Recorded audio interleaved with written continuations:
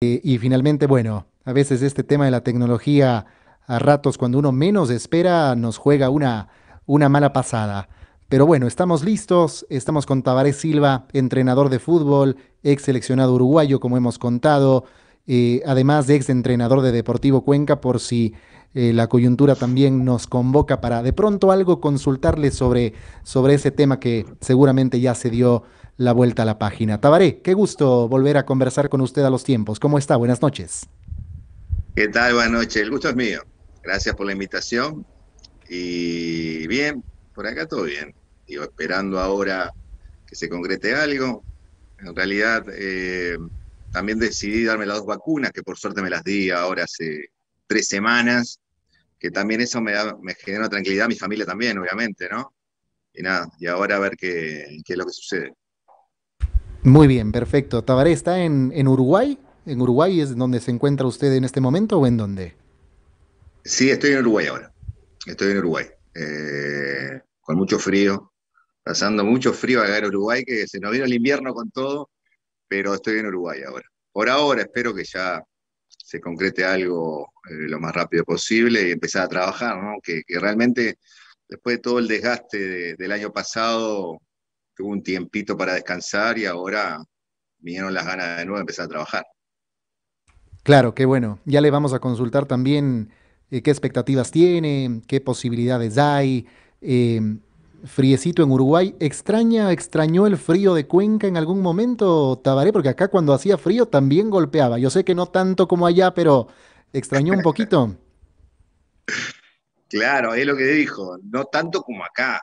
Yo hace tres años que no, no pasaba un invierno en Uruguay, o el inicio de un invierno, y realmente hay que estar muy abrigado porque ha pegado ahora estos cuatro o cinco días, realmente ha hecho muchísimo frío y es diferente al, frío de Cuenca, ¿no? Acá es más, es más duro. Ah, bueno, acá tenemos las cuatro estaciones. En Cuenca o en, lo, o en los eh, lugares de altura hay una estación en todo el año prácticamente. Claro, claro que sí. Eh, Tabaré, hablábamos con los compañeros anoche en este espacio y quiero preguntarle qué apreciación tiene o qué observación tiene con relación a lo siguiente. Discutíamos ayer o analizábamos que las distancias entre el fútbol europeo y el sudamericano se han no solamente achicado, sino que nos da la impresión que el fútbol europeo le dio la vuelta al fútbol sudamericano en ciertas cosas y una de esas cosas no solamente es la preparación técnica, la preparación táctica, la preparación física, sino además el talento que antes era como que una impronta del jugador sudamericano y que por supuesto la sigue teniendo, pero hoy el futbolista europeo también muestra sus herramientas y sus cartas desde todas estas características que, que, mencionamos.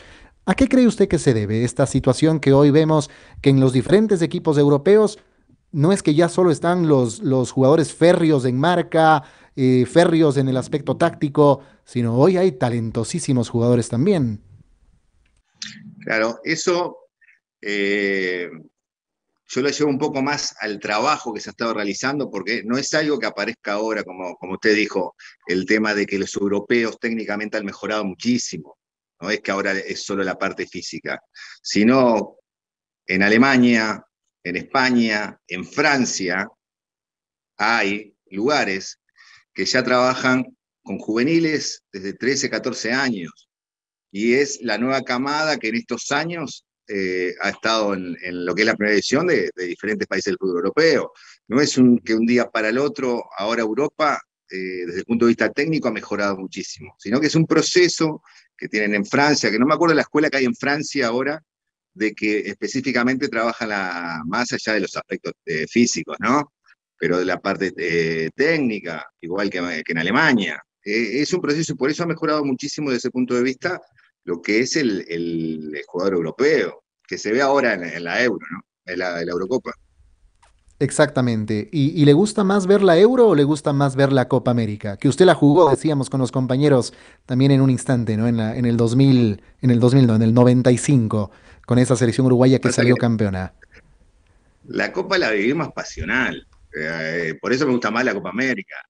La Copa es nuestra, es del de, sudamericano. Está bien, me gusta, veo la, la Euro, veo partidos en Europa, pero lo ves desde, otro punto de vista, tal vez más, más viendo movimientos, tácticas, más allá de la técnica o jugadas. Indudablemente que también la Copa América lo ves, pero a mí siempre me gustó más la Copa América, o como me gusta más la Copa Libertadores que la Champions o la, o la UEFA. ¿Por qué? Porque, bueno, lo mamá desde chiquito, de, jugando acá, cuando jugaba y esas cosas, eh, lo llevas a otro punto de vista. Obviamente que, en Europa, porque nosotros, el, el, fútbol sudamericano es exportador, generalmente están los mejores jugadores, pero siempre me, gusta más la Copa Libertadores, me gusta más la Copa América que, que los torneos europeos. Tabaré, ¿cómo está? Buenas noches. Qué gusto volver a saludarlo con usted casi a los nueve meses, ¿no? Que se ausentó de la ciudad de Cuenca. En realidad, pues eh, ha sido tan rápido el tiempo este año, sobre todo. Parece que fue ayer que podíamos conversar con usted, pues en vivo y en directo. Pero qué satisfacción verlo y que se encuentre en óptimas condiciones, Tabaré. Un gusto verle, sí. Pasa rapidísimo el tiempo. Parece que los días no tienen 24 horas ahora. No, no, no sé qué está pasando porque realmente, como dice, eh, hace tan poco y tanto que no estoy en Cuenca, pero bueno, un gusto estar, estar con ustedes, un gusto verlo a ustedes. Eh, hablemos algo de la selección uruguaya. ¿Cómo lo ha visto a su país en esta Copa América y qué posibilidades de ser campeón le da a su país? Primero, Uruguay está en un recambio generacional, más allá de que, de los jóvenes, entre comillas, tengan varios partidos en, la selección, estamos en un recambio también. Y a veces que aquí, sabe que el uruguayo es muy pasional y a veces vemos como que el equipo no juega porque tenemos jugadores eh, del fútbol europeo que están jugando, no juegan como la gente quiere de, la, tenencia de balón. El fútbol uruguayo nunca, nunca se caracterizó por la tenencia de balón. Y eso también eh, creo, creo que queremos cambiar un poquito eso. Fuimos de menos a más. Creo que en los primeros partidos nosotros contra Argentina no se hizo un buen partido. Después, obviamente, que, se fue mejorando. También los jugadores al convivir están, están, están allá. En la eliminatoria venís tres, cuatro días, más allá que esto es un proceso muy largo, no es lo mismo. Y creo que hemos ido mejorando, que el maestro está encontrando el equipo. Eh, por suerte, eh, hay jugadores que han levantado su nivel bastante, que eso también obviamente incide en el funcionamiento colectivo y estamos muy conformes con el tema de dónde llegamos. Usted sabe que nosotros generalmente vamos al partido siguiente, ahora tenemos que pasar Colombia. Ojalá que salgamos campeones. Nosotros tenemos muchas ilusiones, pero también Ecuador tiene muchas ilusiones y los otros seis eh, selecciones también. Pero primero vamos ahora a jugar contra Colombia, que creo que tiene una baja muy importante, como es cuadrado, que es un jugador que fundamental para lo que el funcionamiento de Colombia. bueno, esperemos que salga todo bien el sábado. Eh, Tabaré, usted habla de una renovación en el fútbol uruguayo. Sin embargo, en ciertas posiciones como que todavía no se encuentran a los jugadores ideales. Es por eso que, por ejemplo, siguen siendo titulares eh, Diego, Diego Godín, por ejemplo, hablar de Edison Cavani y a lo mejor el propio Lucho Suárez. Claro, eh, en realidad el maestro ha mantenido una columna importante, el triángulo final prácticamente es el mismo, eh, de hace años, Jiménez, Godín y Mulera. Y arriba tenés a Suárez y, a Cavani. El otro día, el, último partido que jugamos, que creo que se ganó bien contra Paraguay, se puede jugar sin Suárez. Que también no es fácil a veces eh, jugadores tan importantes, de tanta calidad, eh, cuando están fuera del once inicial, que el, que equipo mantenga el nivel. Pero ellos también ellos han declarado que si clasificamos a Qatar va a ser mundial. Los dos, tanto Suárez como Cavani. Y también es importante que, que, parta de ellos, no que tengas una decisión de, del entrenador. Usted sabe que también la biología nunca no perdona. Ellos saben que, llega un momento que a jugar a tan alto nivel eh, es difícil cuando los años se tienen encima. ¿Cómo le va, Tabaré? Buenas noches, un gusto saludarle. Siempre es simpático conversar con gente tan versada de fútbol y sobre todo tan abierta y fácil para el diálogo. Ahora que usted menciona tantas veces el maestro, como se le conoce al técnico de la selección uruguaya, en Uruguay hay resistencia a veces al técnico cuando las cosas no caminan. Ya se ha anunciado que viene pronto el retiro del maestro de la banca precisamente. ¿La gente le apura eso? ¿Es necesario ya un recambio a criterio suyo o de la mayoría de la opinión pública ya? ¿Qué tal? ¿Cómo está? Un gusto. Eh, hay resistencia, sí. A veces hay resistencia eh, que tal vez de varios, varios periodistas y también la gente absorbe, absorbe eso porque obviamente son formadores de, opinión desde mi punto de vista. Eh, pero ha dado muchísimo el maestro. Eso a veces, a mí me resulta incomprensible a veces eh, escuchar críticas tan desmedidas. Pero bueno, es parte de todo esto, ¿no? Y el recambio se, se va a dar. Yo creo que después de Qatar no sé qué va, si clasificamos, qué va a pasar con el maestro, porque también inciden los factores de, la biología. Y eso también es una realidad para todo el mundo, no solo para el maestro, para los jugadores que ya han dicho que, después de ese mundial, si se va, no van a estar más en la selección. Y después, yo creo que después del Mundial de Qatar se, vendría un recambio para, para, la selección. O hasta que el maestro lo, lo defina él, obviamente, ¿no? Desde mi punto de vista, hasta que él quiera estar, va a estar. Cuando él se quiera, se quiera retirar, bueno, me voy, ya está. Eh, él lo hará, ¿no? Y ciertamente, ¿no? El maestro es respetado en Uruguay, en América, en el mundo del fútbol, por todo lo que ha significado eh, en la dirección técnica, no solo de Uruguay, sino de grandes equipos como Boca. Eh, eh usted que está viendo fútbol todos los días, como dice la Eurocopa y ahora la Copa América, que es la que más atrae, por supuesto, eh, ¿qué conclusión saca? ¿Qué, ¿Qué táctica más o menos se va imponiendo por ahí asoma el 4-3-3, asoma el, el 4-4-2, a veces se juega con un solo delantero. Eh, ¿Qué es lo que cree usted que de aquí a poco tiempo podría ser ya, no un denominador común, pero sí una táctica o un esquema, un esquema que lo pueden utilizar la mayoría de técnicos? Sí, eh, lo que he visto que eh, generalmente en línea de 4 no tenés mucha modificación, pero en mitad de cancha he visto 2-3, que también se ha usado bastante.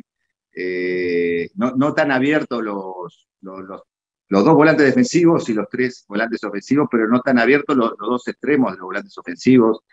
Equipos que juegan con dos delanteros, eh, he visto eh, poco, creo. Y después algún equipo que juega con línea de cinco, con un 5-2-3 también, sin un, sin un delantero fijo.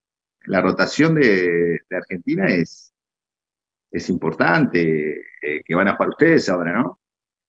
Que la referencia de área te llega por dos lados.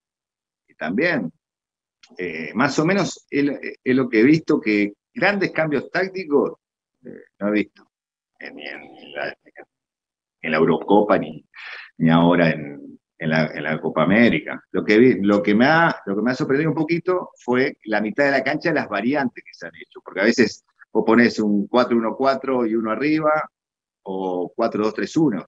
Y hay algunos equipos que la usan, pero hay, hay, otros equipos que, están haciendo mucha rotación en mitad de cancha. los mediocampistas no están haciendo una posición fija, sino que, que, varían e inclusive, eh, me pareció a mí, ¿no?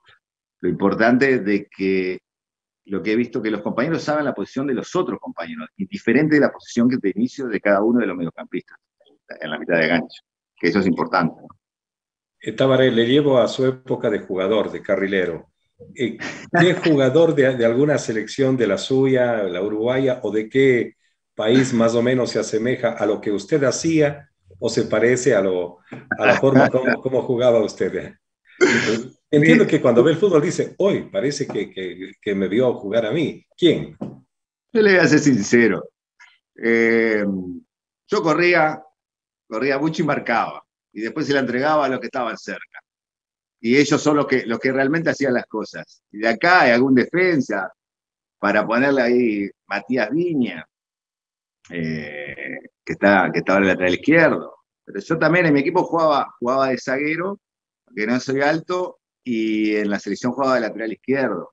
Y de central, con las, con las distancias, lo, eh, Godín pero más o menos va por ese lado. Pero lo mío no, lo mío era muy práctico. También tenía, jugaba con, con Francesco con Rubén Sosa, tenías a, Fonseca al lado, y bueno, tenía, tenías que marcar y entregársela a ellos que ellos a Bengochea, y ellos, eso era lo que decidían. Profe Tabaré, ¿cómo le va? Qué gusto pues saludarle a los tiempos, un abrazo a la distancia y gracias por haber accedido a la nota. Acá le manda a saludar eh, Francisco Lema, dice, saludos, profe, de parte del ex médico del club. Un abrazo grande al doctor, fenómeno. Muy bien, profe, hablemos un poquito de la selección ecuatoriana de fútbol. ¿Usted considera que fue justa la clasificación que obtuvo Ecuador, sufrida, por supuesto, acá por todos los ecuatorianos? Pero ¿cómo lo ha visto la tricolor? ¿Le ve con posibilidades frente a Argentina?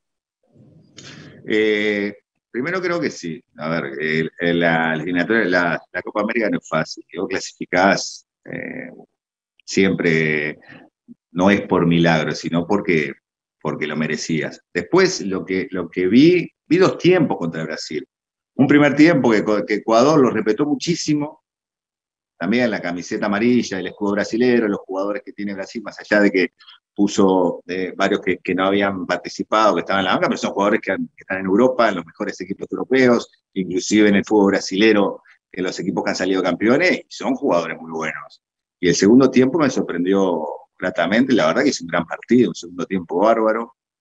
Mena creo que, que le cambió la cara también a, a lo que fue el, el impulso para que Ecuador vaya arriba y ojalá ahora contra Argentina que, que, tienen que hacer un gran partido por la única forma de clasificar, porque Argentina tiene de mitad de cancha hacia arriba un gran equipo, tiene carencias en la parte defensiva, pero más o menos creo que fue justo y, y ojalá, entrando como el segundo tiempo contra Brasil, creo que van a tener más opciones de, de llevarse el triunfo.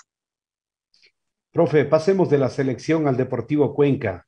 ¿Cómo lo ha visto al actual equipo ahora en estos partidos? No sé si ha estado pendiente de lo que ha hecho Deportivo Cuenca en los primeros encuentros de esta etapa, profesor. Sí, había empezado consiguiendo resultados, después no, no le fueron bien las cosas. Ahora, bueno, fue, fue el topo, que, ojalá que le salga todo bien, porque eso significaría que Cuenca le, le, le sale todo bien y que mejore. Por lo que he entendido, han llegado refuerzos, que eso también es importante, y ojalá que eso ayude a sumar que se solucione la parte económica, que también he leído de que, de hay inconvenientes, que es importante, vos tenés una, una, tranquilidad atrás para solo enfocarte en lo que es eh, el fútbol, entrenar y que las cosas vayan bien. Pero yo sinceramente ojalá que, mejore, ojalá que, le vaya bien, que se meta en una Copa Internacional, porque sinceramente nunca, yo creo que en pocos equipos he tenido el cariño que me ha dado la gente del Cuenca. Y eso, eso para mí es muy importante. Y eso siempre, siempre me lo voy a llevar y siempre lo voy a tener presente. Y le deseo, obviamente, que, que le vaya lo mejor posible, que tiene que mejorar. Indudablemente los resultados marcan que tienen que mejorar. Y ojalá que ahora con, con Sanguinetti mejoren. Profe, ya que toca el tema de la parte económica, ¿con usted todo bien en ese tema o quedó algún saldito por acá todavía?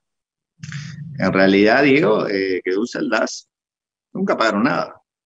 Nos pagaron un dólar. Esta directiva de Cuenca nunca pagó nada. Eh, fuimos muy abiertos con el ayudante de campo, llegamos a un acuerdo, dejamos dinero del contrato que nos correspondía para llegar a un acuerdo y no, nunca pagaron una cuota. Las cuotas que se, que, que se llegó el acuerdo, las cuotas que iban a pagar fue la que quiso el club y sinceramente nunca llegaron a, a, nada, no pagaron un dólar. Esta directiva no pagó un dólar y no me dejaron otra, otra salida que, bueno, obviamente hacer la demanda a la federación, que ahora fue la, la última audiencia, que ya creo que el viernes va a ser una resolución al respecto, eh, pero no dejaron otra alternativa que la verdad que no me hubiera gustado llegar a esta instancia, pero no pude más, no, no, no.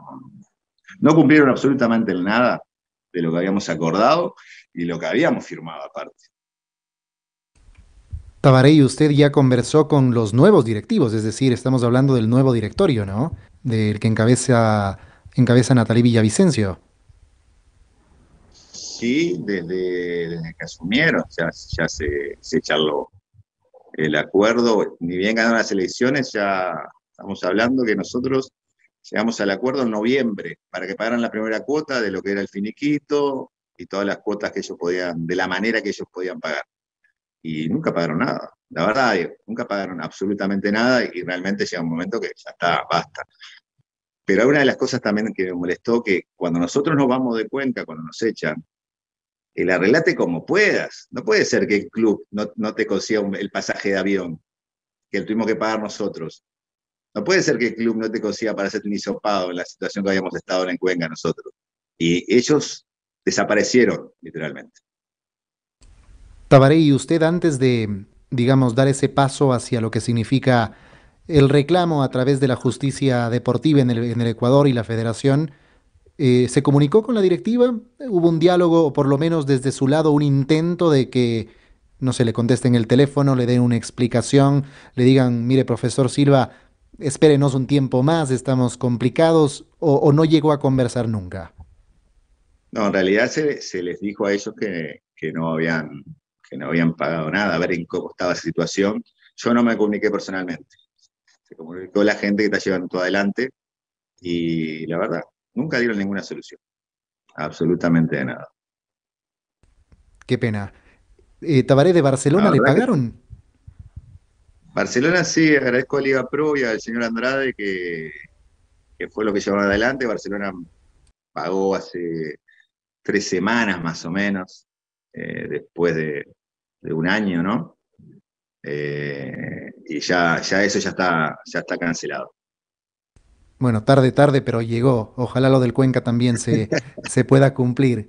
Tabaré, en esta misma línea del Cuenca, eh, ¿fue difícil darle la vuelta a la página? ¿Le golpeó personalmente, anímicamente, profesionalmente eh, la salida en medio del contexto ese que todos sabíamos y de la realidad durísima que estaban soportando y que lógicamente en un club como el Cuenca lo institucional, lo económico no se podía separar de lo deportivo y en medio de una pandemia peor todavía.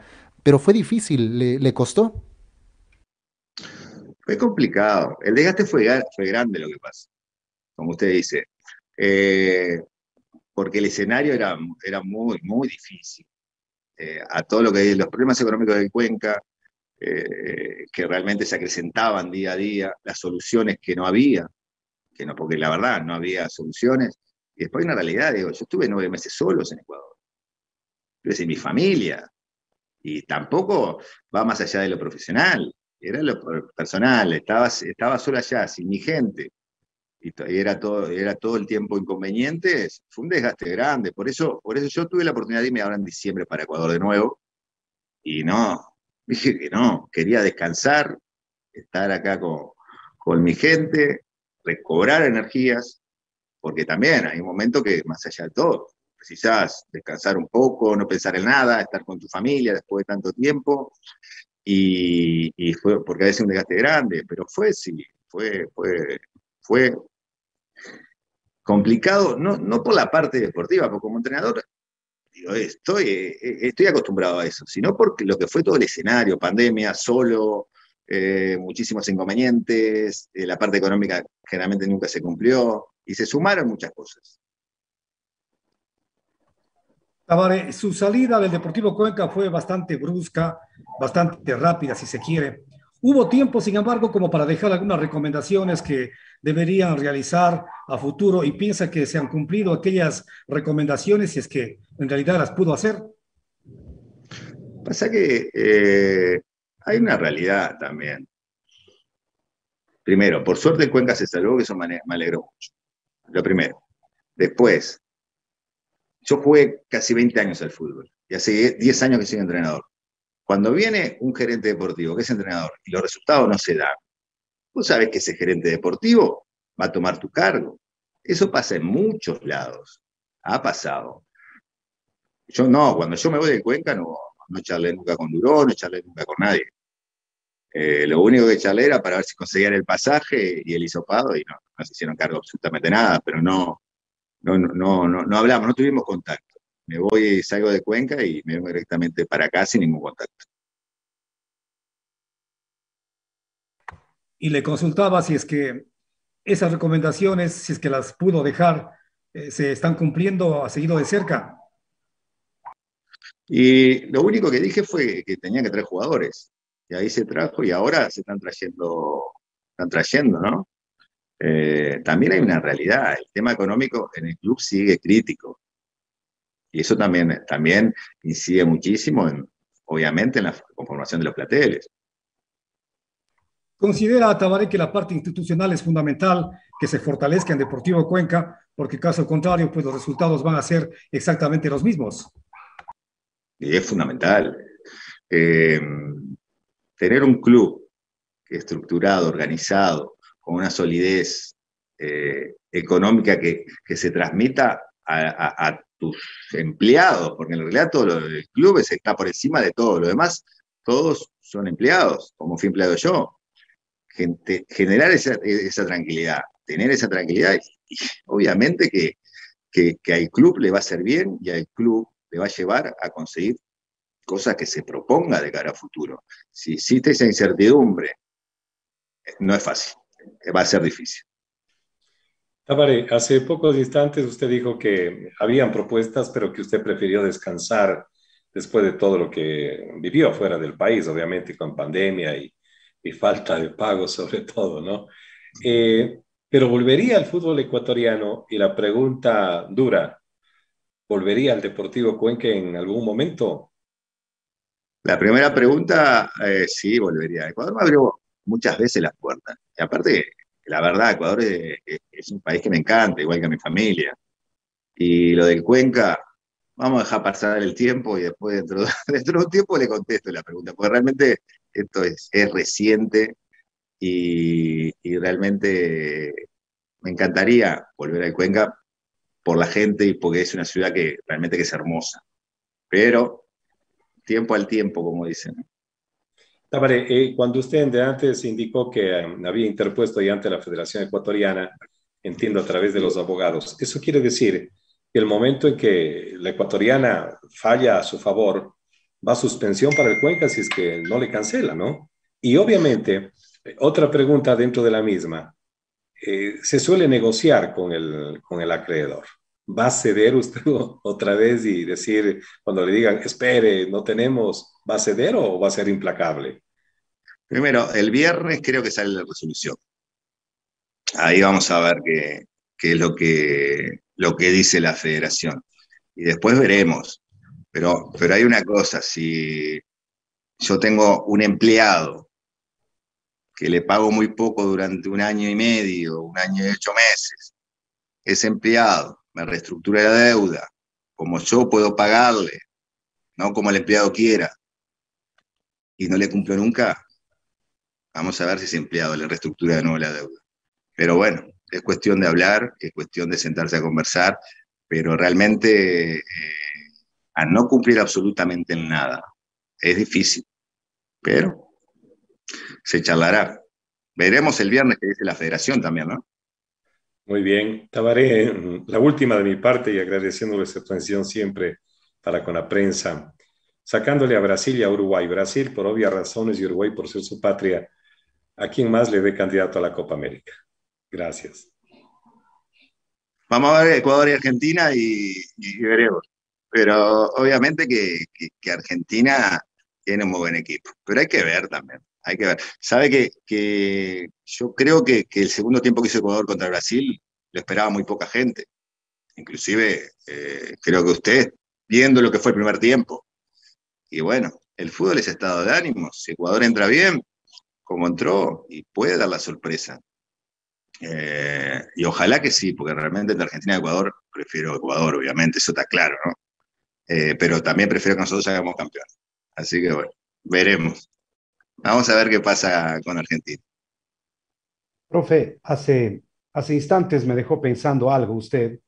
Manifestó que siempre pasa de que los gerentes deportivos, si tropieza el director técnico, pues son quienes asumen el cargo. Me da la idea que si tropieza Sanguinetti, podría retornar Guillermo Duro a dirigir al Deportivo Cuenca. Ah, Diego, eso lo verán ustedes. Yo le, yo le digo lo que me pasó a mí. eso, bueno, veremos que no tropiece el topo y, que ande bien. Pero eso, eso se verá después. Yo le digo lo que, lo que yo pensaba y me pasó a mí eh, con el Cuenca, ¿no? Bueno, pasó con el Toro Bustos también en Delfín de Manta, creo. Claro, es que acá en Uruguay también pasa. Es algo que, bueno, que no está escrito en el fútbol, pero vos sabés qué pasa, con muchas cosas que no están escritas, pero sabés qué pasa. Profe, acá ha existido diferentes criterios y quiero conocer el suyo con respecto a la presencia de los nacionalizados en cada una. No sé si en cuántas selecciones están jugadores que, obviamente no son oriundos de, ese país. ¿Qué opinión tiene usted al respecto de todo esto, Tabaré? Sí, leí la polémica que, que, con respecto a los eh, nacionalizados. Eh, en Uruguay, yo le hablo, le hablo de porque creo que ustedes, al ser ecuatoriano, lo, tienen mm, otra opinión más, más profunda o, pueden hablar con otras bases diferentes a las mías. Eh, a mí en Uruguay no me gustaría, pero bueno, el técnico es el que toma las decisiones después Ecuador o cualquier otra selección. Aquí creo que en Uruguay, creo que hubo cuatro o cinco nada más que, eran extranjeros que jugaban la selección. Y uno de ellos fue Spencer, si mal no recuerdo, que jugó en la selección uruguaya en un torneo hace, hace tiempo que se hizo en Uruguay. Pero bueno, es una opinión personal, ¿no? Después, obviamente, que los entrenadores definen.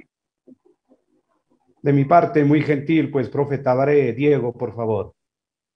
Gracias, Diego. Eh, Tabaré, digamos que a ver, usted ha dicho, al Cuenca hay que darle tiempo, al fútbol ecuatoriano me gustaría volver. ¿Ha recibido ofertas en este último tiempo para el fútbol ecuatoriano o del fútbol ecuatoriano? En diciembre, en diciembre había recibido alguna oferta ahí, pero no, no en realidad no, no, quería dirigir en ningún lado. Eh, y nada, pero ahora sí, ahora, ahora esperemos que se encuentre alguna opción y a volver a dirigir, porque ahora sí, ya tengo muchísimas ganas de, de volver a, dirigir. ¿Se, puede saber de quién era esa, esa propuesta en diciembre? Se dice el, pecado, pero no el pecador, ¿no? El milagro, pero no el santo, también calza perfectamente. Jorge, tiene otra consulta, por favor. Sí, al margen del fútbol, Tabaré. Eh, son muchos años que no he podido volver a Montevideo, he estado unas tres veces, pero ya ha pasado muchos años en realidad. ¿Cómo está la vida? ¿Cómo está el costo de la vida, más bien en Montevideo, que es una ciudad maravillosa? Sí, es una ciudad hermosa. El costo de la vida eh, es caro, es caro Montevideo. Comparado con, Ecuador y otros países, eh, vivir aquí es caro. Pero la ciudad es hermosa, sin lugar a dudas, y vale la pena el que pueda. Venir a visitar, ahora no, porque con esta pandemia también que ya, ya está cansadora, ya no sabemos cuándo, se va a terminar todo esto, pero Montevideo sigue, sigue hermoso. Así que no, no, se pierde nada si vienen a Uruguay a ver Montevideo y bueno, obviamente alrededores de Montevideo. Vamos a iniciar una, una, recuperación de dinero, una acumulación de dinero, a ver si es que vamos próximamente a Montevideo. De mi parte, también muchísimas gracias, un abrazo, Tabaré. Parece que Jorge está palanqueándose una invitación de Tabaré. Sí. Está, tirando para, ver qué pasa. Tabaré, ¿y se ve dirigiendo en este mismo año o va a esperar al 2022? No, espero que, que sea ya pronto. Ya para dirigir pronto y bueno, veremos, veremos qué pasa. Muy bien. Tabaré, muchísimas gracias por, por el tiempo, por el diálogo. Eh, siempre tenemos muy gratos recuerdos y definitivamente de, su forma de ser, de su apertura, de su entendimiento con relación al trabajo de los medios, de nuestra emisora, de las otras entiendo también lo mismo. Así que le mandamos un fuerte abrazo y esperamos verlo en la zona técnica muy pronto. ¿ah? Por favor, le mando un abrazo grande, un gusto. Y yo siempre tengo el principio o la regla de que, con respeto, Diego, todo se puede. Ustedes trabajan, los periodistas trabajan trabajan del fútbol, yo trabajo del fútbol, y bueno, y llevando eso, no va a haber ningún inconveniente. Así que les mando un abrazo grande y ojalá que el sábado le ganen Argentina. Ojalá que sí. Ojalá, ojalá que sí. Un abrazo. Gracias a Tabaré Silva, entrenador de fútbol, ex entrenador de Deportivo Cuenca, que ha conversado con nosotros esta noche acá en el programa. Ha sido un placer, la verdad, un privilegio poder conversar de nuevo a los tiempos con Tabaré siempre predispuesto, siempre muy, pero muy buena gente. 19 con 50.